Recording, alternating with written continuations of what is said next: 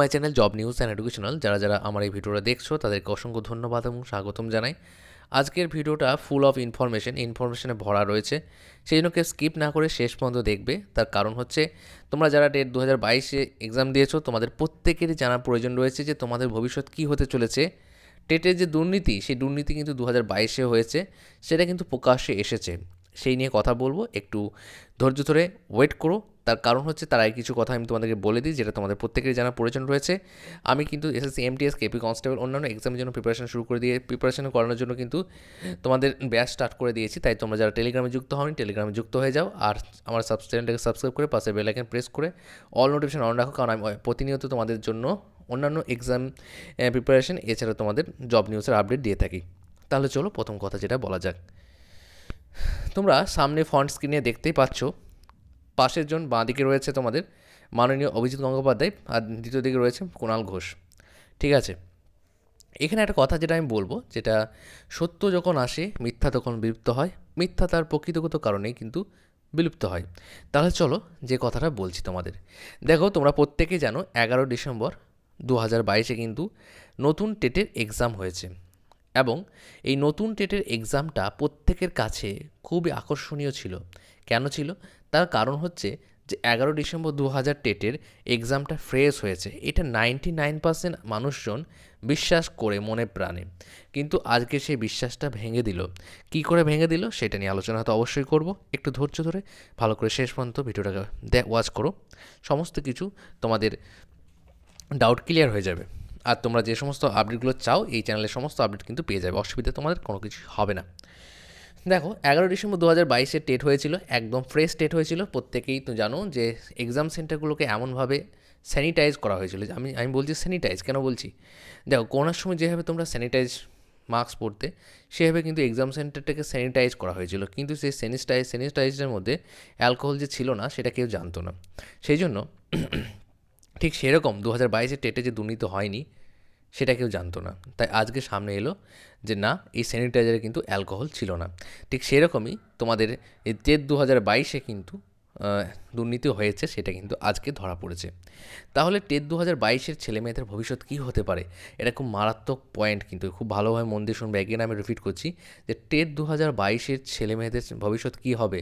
তাদের কি ভবিষ্যৎ দু অর্গানাইজার টিচারদের মতো হয়ে যাবে, নাকি দু হাজার বাইশ দু হাজার চোদ্দ, সতেরোদের মতো হয়ে যাবে? কী হবে? সেই নিয়ে একটু আলোচনা আমি করব।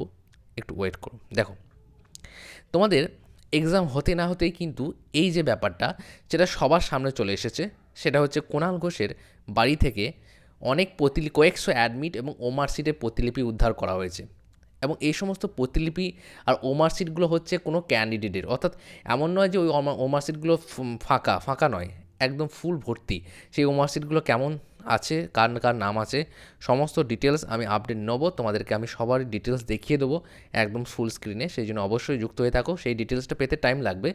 কিন্তু আমি তোমাদের ওমার্কশিট দেখিয়ে দেবো যে কার কার নাম ফার্ম আছে। নাম দেখাতে না পারলে অবশ্যই ওমার্কশিটগুলো দেখিয়ে দেবো তোমাদেরকে। হ্যাঁ।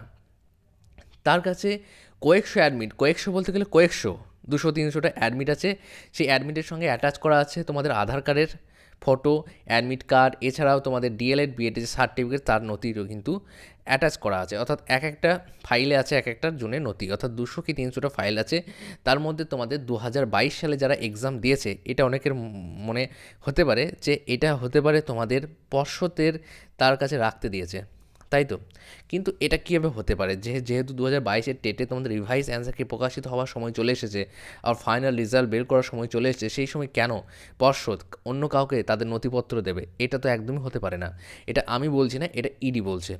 ইডি সূত্রে খবর এটা যে, কোনাল ঘোষের বাড়ি থেকে কয়েকশো অ্যাডমিট কার্ড এবং তার প্রতিলিপি কিন্তু ওমার্কশিট প্রতিলিপি কিন্তু পাওয়া গেছে। সেই সমস্ত অ্যাডমিট এবং ওমার্কশিটগুলো সবই কিন্তু ফিল করা আছে এবং সেই সমস্ত ফিল করা স্টুডেন্ট হচ্ছে টেট দু হাজার বাইশ স্টুডেন্ট টেট দু হাজার বাইশের স্টুডেন্টদের সমস্ত প্রতিলিপি কিন্তু ওমার্কশিট আধার কার্ড সমস্ত কিন্তু কোনাল ঘোষের বাড়িতে ইডি কিন্তু উদ্ধার করেছে। তাছাড়া অনেক ফোন রেকর্ডিংও কিন্তু উদ্ধার করেছে। সেসব কথা বলে আমার কোনো লাভ নেই।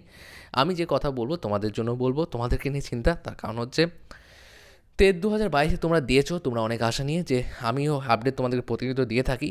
সেই আপডেটগুলো দিতে দিতে এই আপডেট পেয়ে আমার খুব খারাপ লাগছে কারণ টেট দু হাজার বাইশে যে সমস্ত ছাত্রছাত্রী আছো, তাদেরকে আমি বলেছি রিভাইস অ্যান্সার কি তোমাদের আসবে ফেব্রুয়ারি ফার্স্ট উইকের ফার্স্ট ফার্স্ট ফার্স্ট উইকের শেষের দিকে আসবে, তাই বলেছিলাম, কিন্তু সেটা আসবে।